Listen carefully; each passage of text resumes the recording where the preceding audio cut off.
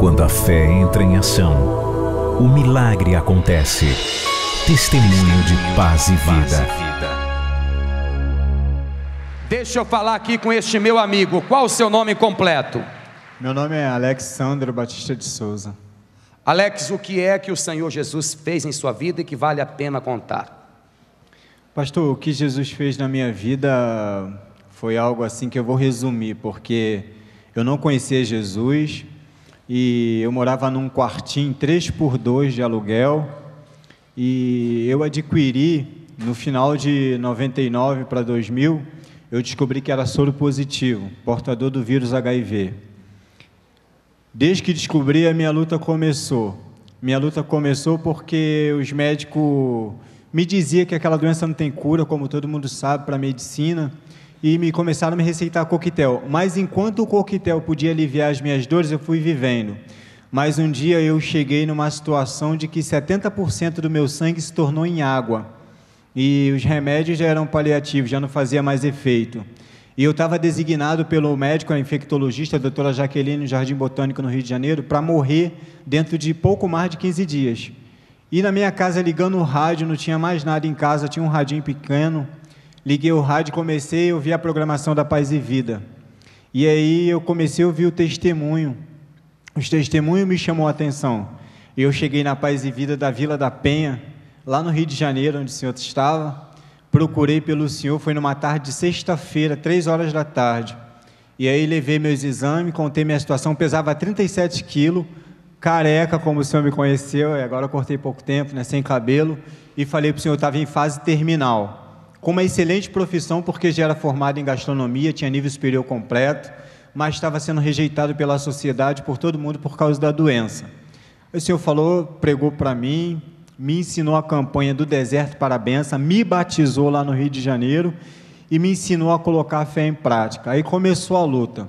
Comecei a lutar, comecei a lutar. Dentro de, de um mês, a partir de um mês que eu estava na Paz e Vida, comecei a pegar peso. E aquela médica que tinha me dado 15 dias, cada vez que eu voltava lá, ela surpreendia. Você não morreu, não? Você ainda não morreu, não? Você não está morto, não? Em pleno século XXI, você está contaminando todo mundo? Está podre em vida? Falei, não, não estou podre, eu vou viver. E cada vez, cada consulta que ela marcava, eu ia, e você não morreu, você não morreu. Até que começou a fazer exames. Começou a fazer exame porque eu comecei a pegar peso. Eu pesava 37 quilos, hoje já estou com 70. Ô, ô Alex, qual a sua altura? Eu tenho 1,78m. Imagine uma pessoa com 1,78m pesando 37 quilos. Era pele e ossos. e ossos. Foi assim que eu cheguei na Paz e Vida. E quando ela começou a pedir os primeiros exames de CD4, CD6, CD8 de carga viral, e ela começou a ver que as coisas estavam mudando, e ela não me dava laudo à médica. Eu pedi um laudo, ela dizia que não tinha laudo porque o meu sangue estava emocionado. Ela dizia: "Você está contaminado, porém o computador não consegue ler o seu exame". E ela ligava para mim: "Olha, volta para repetir o exame que teu sangue está emocionado". Teu sangue. Falei: "Doutora, que tanta emoção é essa para o meu sangue? Não é possível". E começou a fazer exame, exame e começou a dar não reativo, não reativo, não reativo.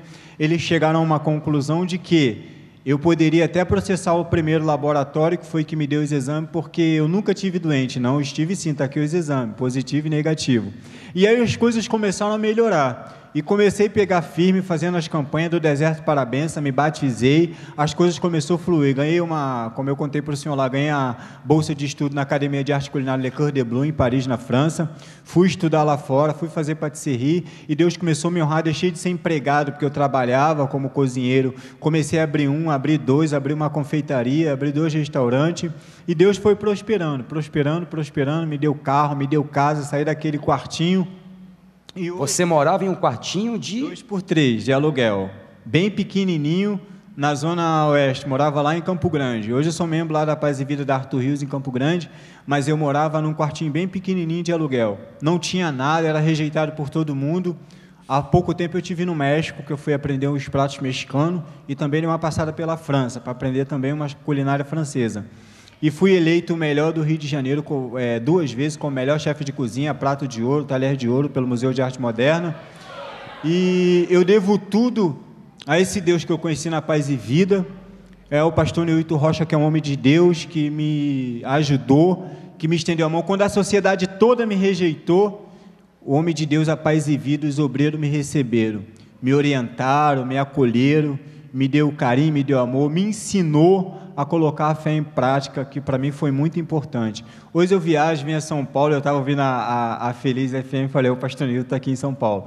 Eu vim dar uma palestra no Instituto de Infectologia, né, aqui no Emílio Ribas, e eu falei, eu não posso deixar, eu não posso ir para o Rio de Janeiro sem dar uma passadinha aqui em São Paulo. Agora você dá palestra é, sobre o assunto. Sobre o assunto. Agora eu falo sobre o assunto porque assim eu fui tido como referência lá no Hospital do Rio, né?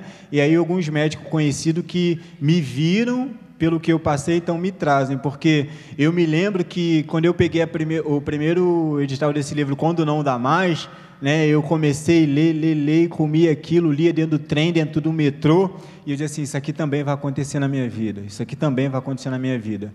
E hoje, para quem não tinha nada, para quem chegou assim, nem a saúde eu tinha, né, que eu cheguei pele e osso. Hoje eu corro, não me canso, caminho, não me fadigo, né? Caminho porque quero, porque hoje Deus me deu meu carro, me deu minha casa, né? Agora vai, tô tá preparando meu casamento, né? Porque dezembro eu vou casar, né?